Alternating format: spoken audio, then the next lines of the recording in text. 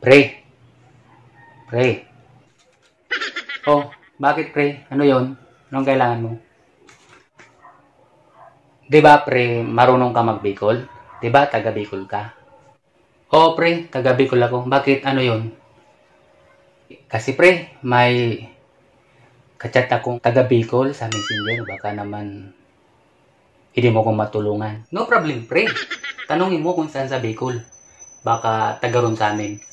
Taga ano daw siya pre? Taga Dulo, San Jose, Camarinesor. O doon siya nakatira. Ay, sakto pre. Taga ron ako. Siguro malapit sa amin yan. Bakit ano yung pre? Kasi pre, sinabihan niya ako na garo akong tubol. Makanusun pa. Baka pwede pre. Pa-translate sa Bicol. Ah, yun ba pre? Basic lang yan. Ang ibig sabihin ng tubol is napakagwapo mo.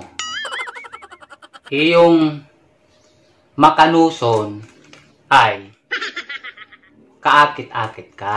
Yun ang ibig sabihin nun, pre. Talaga, pre? Salamat, pre. Salamat.